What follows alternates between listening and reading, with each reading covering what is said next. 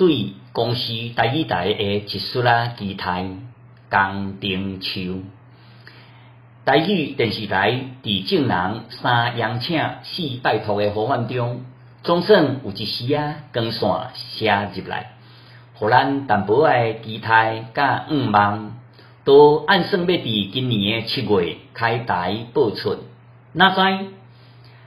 台语台开播的广告，刷出两个台语文的杀手，真正是请鬼摕药单。一个一世人毋捌替台语文讲过的好话，一个毋捌用台语文写过文章，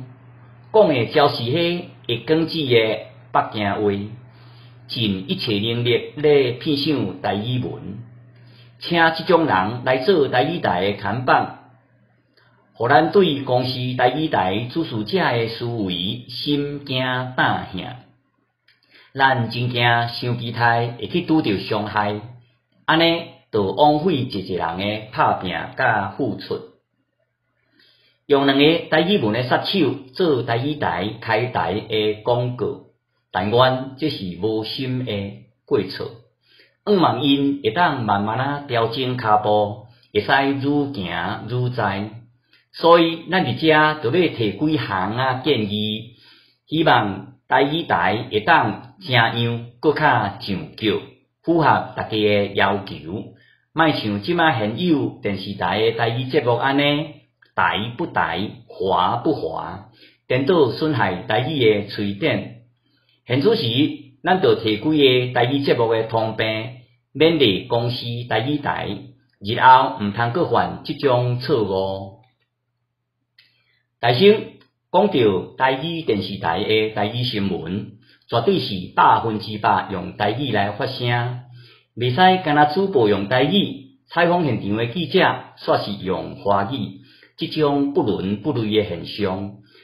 咱台语新闻一定爱去避免。所以，换讲台语节目，即阵有真济电视台有台语节目，一般诶对话拢是用台语，毋过若拄着较困难。较少用诶语词，随转换做华语，安尼台语诶语词会愈来愈少。一般人嘛学袂着水诶台语词，无形中阻碍台语诶进展。过来讲到台语演员，因为真侪少年演员未晓讲台语，煞用配音诶方式来发声，互咱叫成咧看日本戏，也是韩国出。即会伤害讲台语诶人才，